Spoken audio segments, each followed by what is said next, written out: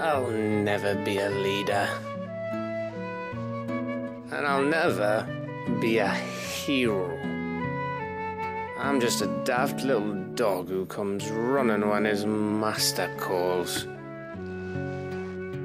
I'll never be like you, or Cid, or Jill, or even Torgal.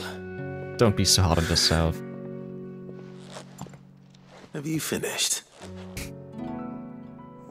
Maybe. Maybe. Do you know why you're our best scout?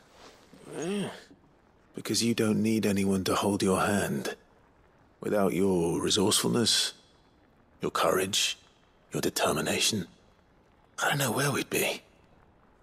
Maybe hanging off a cliff like, uh,